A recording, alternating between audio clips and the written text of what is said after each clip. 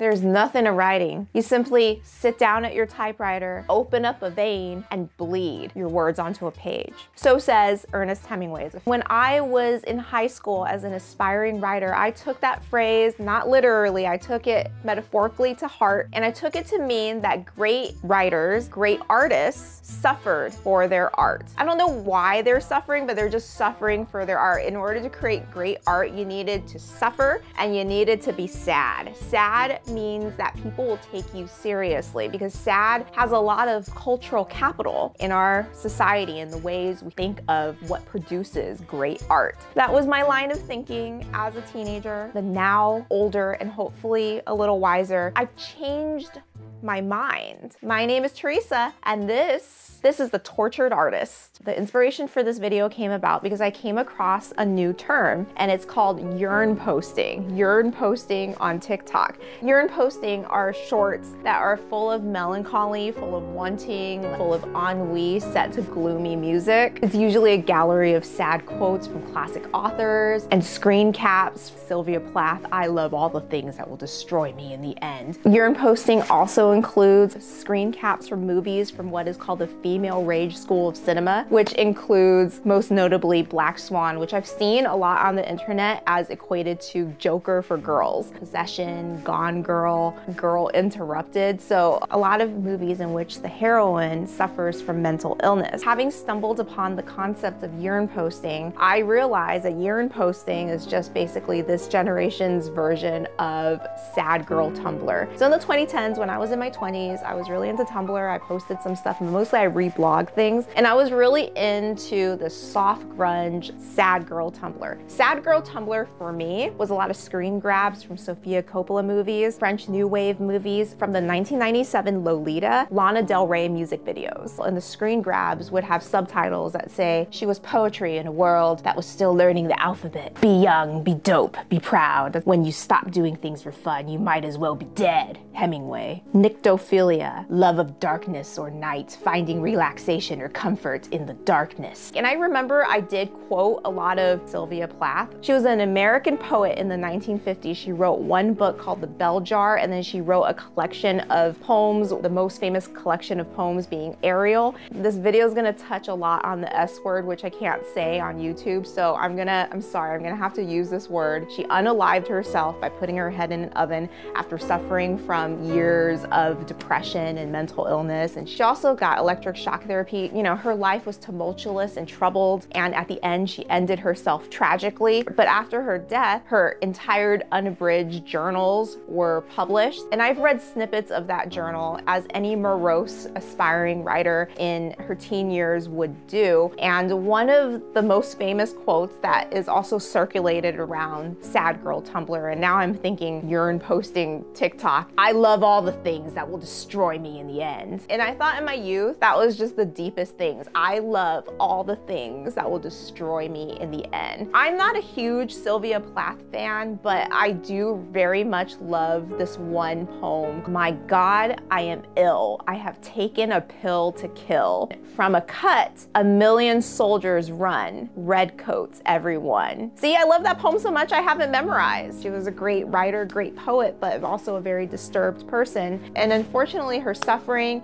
and her untimely death was romanticized in the myth of the tortured artist. So having stumbled upon the concept of yearn posting and also discovering the renewed romanticization of the character of Nina Sawyer in Black Swan, which is also a suffering artist. She literally just bled for her art. And it made me wonder why, when it comes to artists, why do we glorify the myth of the tortured artist? So back then, 13 years old, I had an unshakable belief in my talent as a writer. In actuality, I probably had a kernel of talent. Like my teachers told me I was a good writer. Everyone I came across told me I was a good writer. So I, I believed in myself. I thought, why not just aim for the stars? I wanted to be a literary novelist. I read my share of romance novels at the time, but it never occurred to me to become a romance novelist because it's kind of ingrained in you that nobody respects romance writers, even though now I know that romance writers are the bread and butter of the publishing industry. 90% of books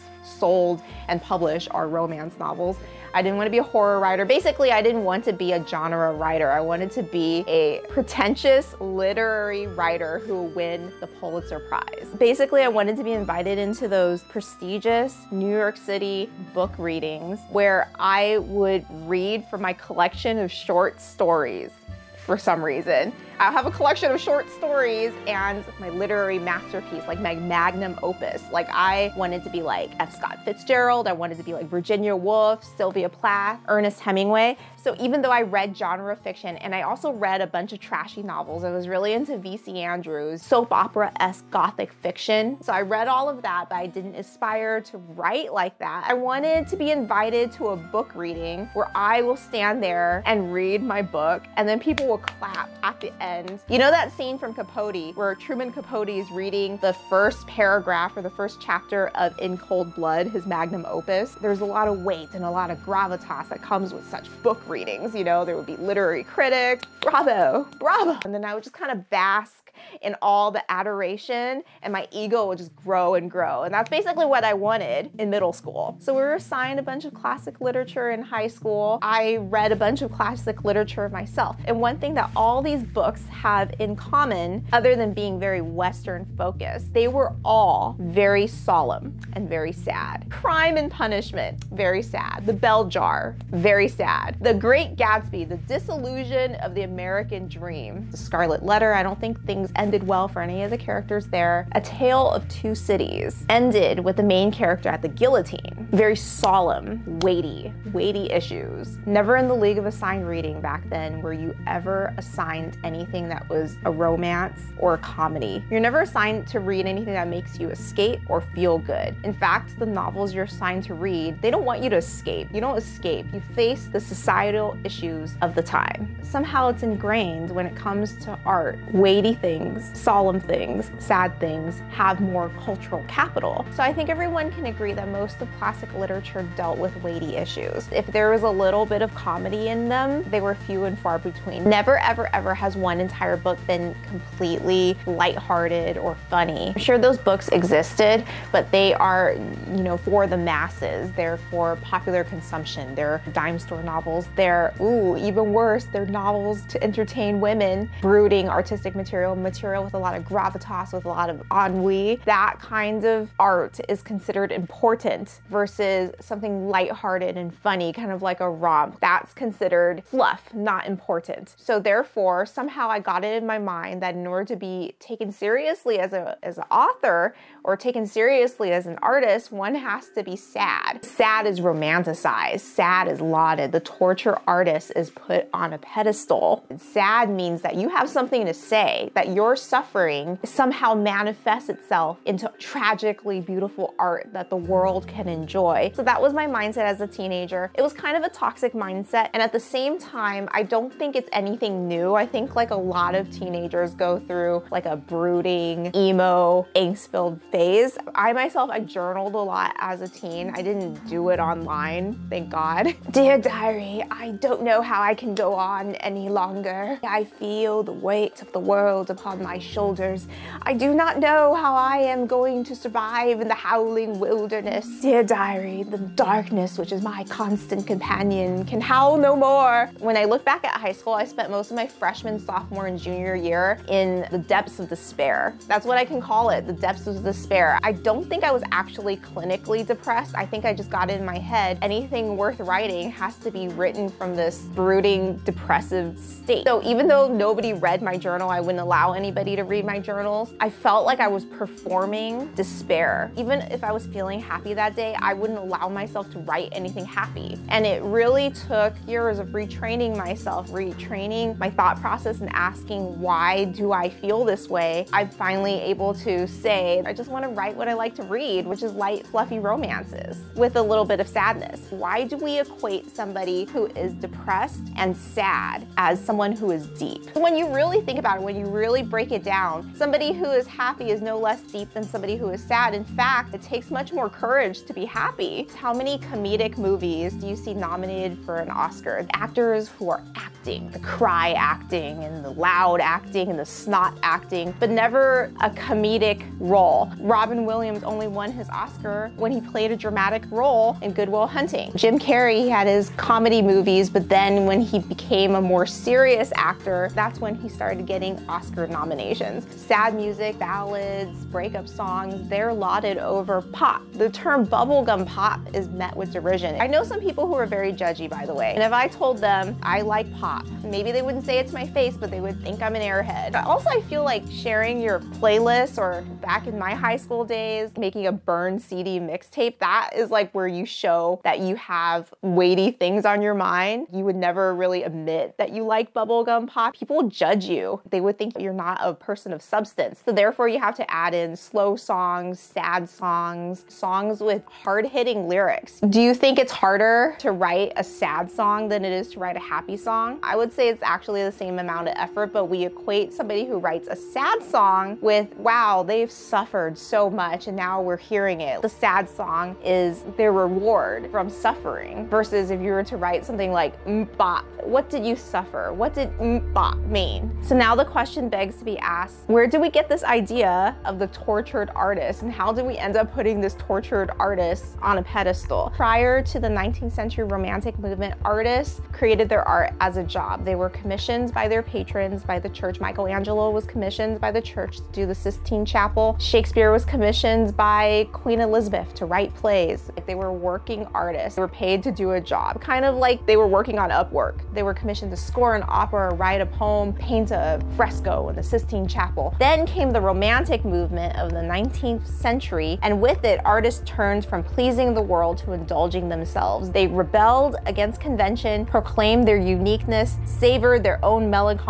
Many also chose a bohemian lifestyle to exhibit their otherness. You know, that opera La Boheme, bunch of starving artists living in Paris, somebody's dying of tuberculosis is inspiration behind Moulin Rouge, also the inspiration behind Rent. The concept of tuberculosis chic was in vogue at the time. Looking like you had tuberculosis, looking like you were on the brink of death was considered romantic for some reason. One iconic image of the early romantic era is Victor Emil Janssen's 1828 self-portrait at the easel. Janssen, a handsome 21-year-old artist, is shown stripped to his waist as if for no other purpose than to display his puny chest being consumed by the bone disease that would later kill him. Byron, Shelley, and Keats, 19th century romantic poets, albeit they didn't perish by unaliving themselves, all died very young. By dying young, living fast and dying young, they were kind of immortalized and mythologized. And the whole concept of an artist dying young, dying at the peak of their talents, it's all furthered by the mythology of the 27 Club. So the 27 Club, legion of musicians, Mozart, Kurt Cobain, Amy Winehouse, Jimi Hendrix, Janis Joplin, Jim Morrison, all met their end at 27. And in many ways, they're kind of mythologized for dying at a young age. It's thought that their talent is a bright ball of fire burning hot, burning fast, and burning out very soon, like a giant spark. There's this line that Shakespeare wrote in Romeo and Juliet, and that is later quoted to death in Twilight. These violent delights have violent ends. I see that 90% of these musicians are boomer musicians, and we know that the boomers lived fast and they lived hard. Frankly, they're a reckless generation. I mean, like, most of them probably performed at Woodstock. Drugs were plentiful. In fact, I read that Jimi Hendrix, he just did whatever drugs anybody handed him. Like, he didn't even know what it was, he just took it. Mozart also party hard. I don't know if he did any drugs. I'm sure if there were drugs involved in 18th century Vienna that he would have partaken in it, but I'm told he, he liked the drink. Perhaps it was the drink that killed him. People in the past, it was easy for them to die. You have three bottles of Viennese brandy, you stumble around and then you fall into a snowy ditch and then you're sleeping outside during a blizzard. You're gonna catch pneumonia and then perish. And we've heard tales of a lot of musicians that you would think based on the success of their song, their album, maybe their one hit wonders, you would think that they're rolling in dough, but in actuality, they probably signed a shady contract when they were just up and coming. And then even though they're successful, they're not seeing money in return. Like all the money goes to the record studio or all the money money goes to their agents. They completely got scammed because they were young and naive and just trying to make it in the world. And I'm thinking that's what happened to Mozart. Like he was just celebrate at his time, but I'm pretty sure he probably signed some shady contract, but he wasn't as well off as you think he would be because he just didn't know how to manage his money. And of course you would be depressed. And of course you would fall into depression and dark thoughts of despair when your basic human needs are not being taken care of. You're like trying to pay your bills if like the repo man's trying to take away your carriage or your car or whatever and you're living in this drafty hovel in the middle of winter, you're like not feeding yourself because you have no food because you have no money to buy food. How are you gonna write the next great American novel? Write the next great Viennese opera when you're about to be evicted from your apartment, you're about to live on the street. So in many respects, I think that's what happened to Vincent van Gogh, the quintessential tortured artist. I read up on Mr. Van Gogh. He lived a troubled life. He was a suffering artist, a starving artist. He was never wealthy in his time, spent most of his money on artistic supplies, which is understandable because art supplies are expensive, even probably back then. We all know that he went through it and then he cut off his ear. He also ate some yellow paint.